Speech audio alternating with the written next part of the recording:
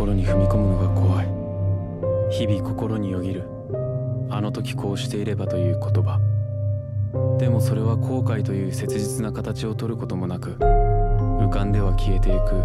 言い訳の言葉だ。俺は自分の心に踏み込むのが怖い。ひなみ逃げて。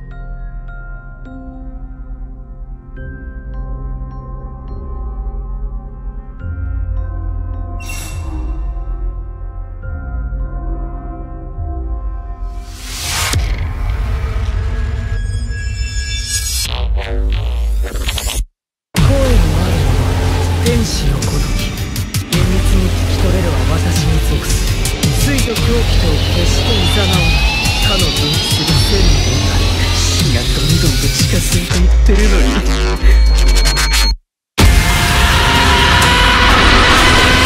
はぐかわず従属すればいい。そうできない者は死ぬ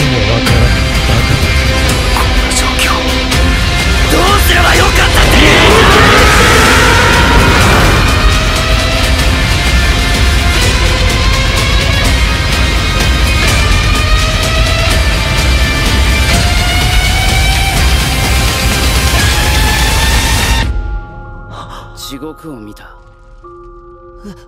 地獄を見た。地獄を見た。